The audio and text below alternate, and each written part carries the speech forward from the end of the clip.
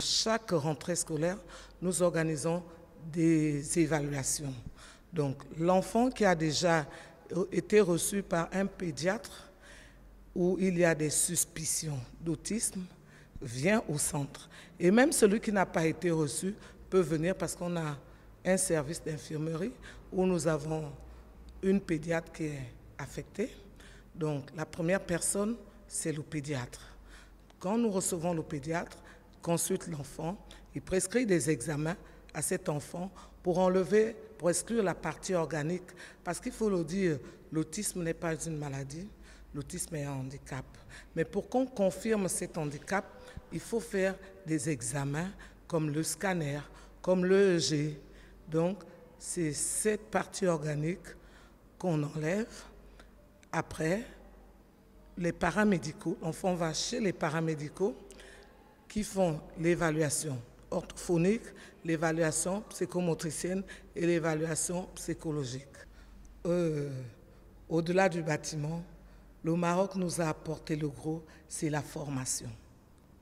Parce que si nous ne sommes pas formés, nous ne pouvons pas accompagner ces enfants. Donc, le premier accompagnement, c'est la formation. Nous avons été formés au Maroc pendant trois mois et nous sommes venus pour exercer. En dehors de cette formation, le Maroc, dans le cadre de notre partenariat, a envoyé à plusieurs reprises des formateurs pour nous former sur place.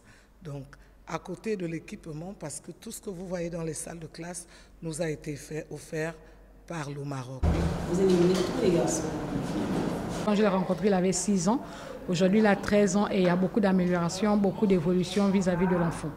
À quel niveau se situe cette évolution-là Au niveau du langage Est-ce qu'il parlait avant, il ne parlait pas C'est quoi sa particularité Est-ce que c'est l'autisme sévère Bon, c'est l'autisme, euh, pas sévère, mais c'est l'autisme.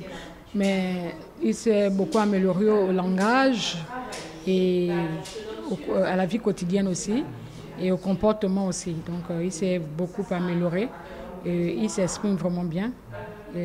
Plus en oral aussi, il, s'exprime très bien. Un enfant qui a beaucoup de troubles de comportement, c'est très difficile c'est très difficile de rentrer dans les apprentissages avec ses enfants. La première des choses, c'est travailler d'abord sur les troubles du comportement.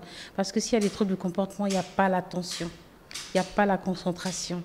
Et la première des choses, les troubles du comportement, c'est quelque chose de très compliqué avec des enfants en situation de handicap, mais c'est possible. C'est possible tout doucement en passant quelques minutes avec l'enfant, essayer d'attirer le regard conjoint de l'enfant, essayer d'attirer la concentration de l'enfant sur quelque chose qu'il apprécie dans un premier temps. Et au fur et à mesure, on rentre dans les apprentissages tout doucement, tout doucement. Mais d'abord avec ceux que l'enfant apprécie, de façon à ce qu'il soit concentré sur cette activité-là.